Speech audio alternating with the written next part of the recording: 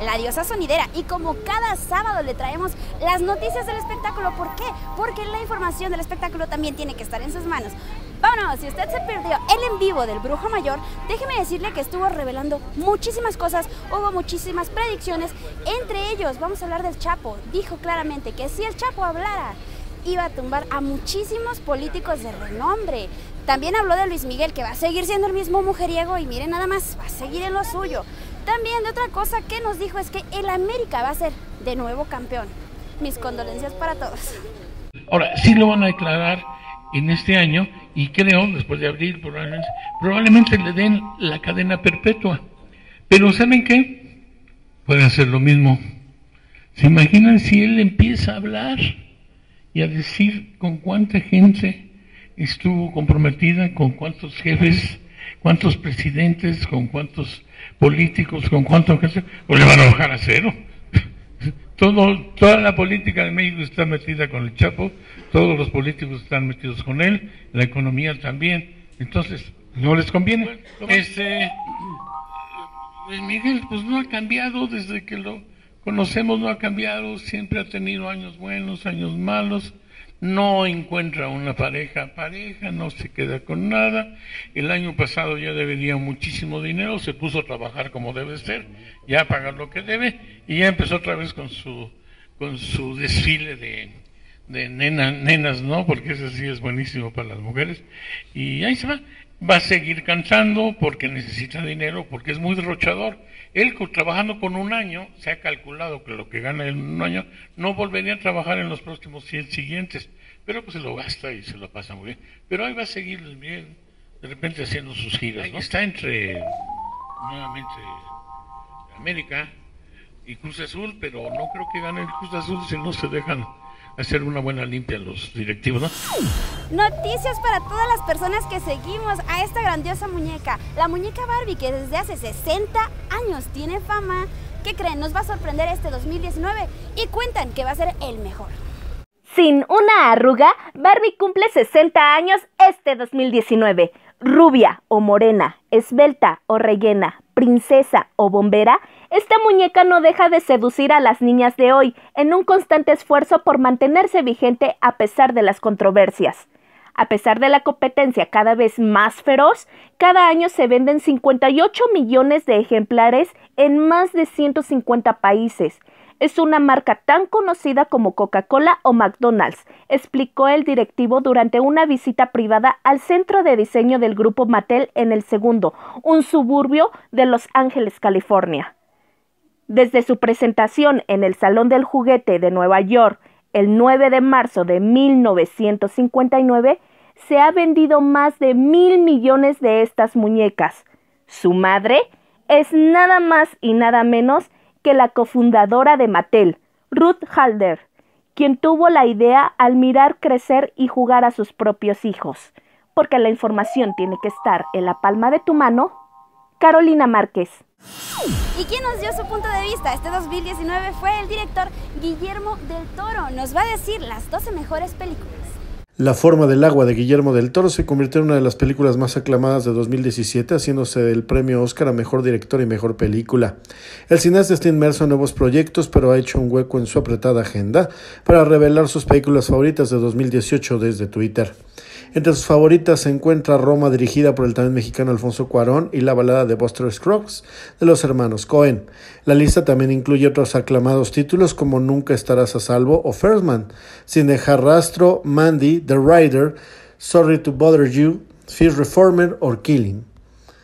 El cineasta también ha elegido dos esperados filmes aún estrenados en México, Van Gogh a las puertas de la eternidad y La favorita de Yargos Latimos. Un total de 12 películas, aunque del Toro aclaró que todavía le quedan por ver algunos títulos más destacados del año pasado, porque la información tiene que estar en la palma de tu mano. Alejandro Fernández. Él es Juan y tiene muchas razones para viajar al extranjero. Lo que no tiene es su pasaporte y visa. Así llegó a Visas HD donde le brindamos asesoría profesional y segura para tramitarlos. ¿Qué esperas? Tramita tu pasaporte y visa de manera cómoda, sencilla y segura, como Juan. Visas HD.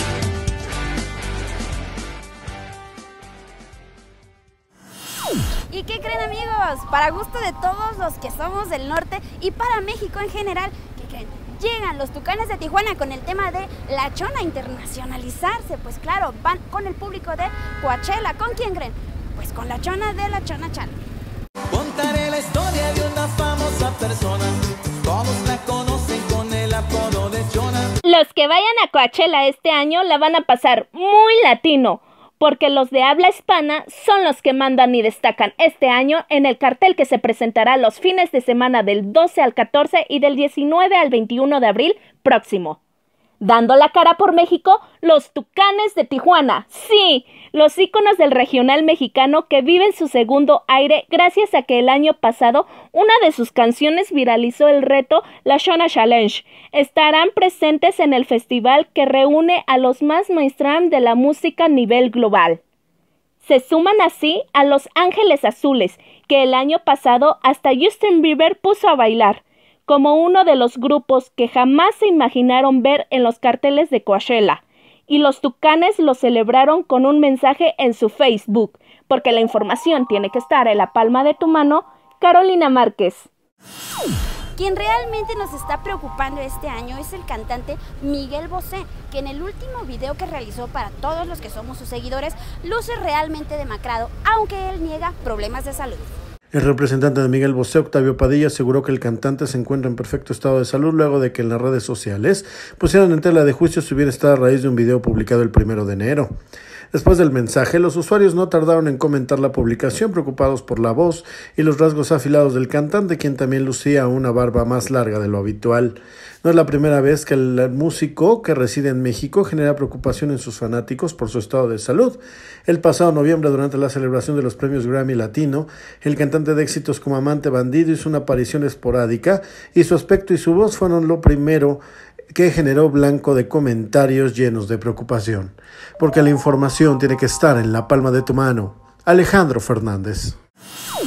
Amigos, pues ¿quién nos entiende? Por algo dicen que nosotras las mujeres nadie nos entiende. Mejor quiéranos. Y una de ellas es Britney Spears, que después de haberse retirado ya de toda esta farándula por problemas mentales, como muchos sabemos, reaparece, pero ¿qué creen?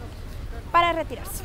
La cantante estadounidense Britney Spears anunció que pondrá pausa su carrera de forma indefinida para dedicar tiempo y todo su esfuerzo a cuidar a su padre, James Spears, quien además es su tutor. Así lo anunció a través de sus redes sociales la princesa del pop al explicar que meses atrás su padre fue hospitalizado y estuvo a punto de morir, por lo que es momento de dar prioridad a la familia debido a que su padre aún le queda un largo camino por recorrer. La artista, quien tenía previsto iniciar en febrero su show Domination en el Hotel Park MGM de Las Vegas, expresó sus disculpas a sus miles de fanáticos en el mundo por cualquier inconveniente que esto pudo haber causado, y dijo que espera el momento en que pueda volver a los escenarios. Además, indicó que la información sobre el reembolso de los boletos de su show está disponible en la página de internet britneyspurs.com porque la información tiene que estar en la palma de tu mano, Carolina Márquez. Bueno amigos, esto fue todo por hoy. Como cada sábado, yo soy Estrella de los Sonidos, la diosa sonidera. No olviden seguirnos y compartir todas las noticias, porque la información de la farándula debe de estar en la palma de su mano.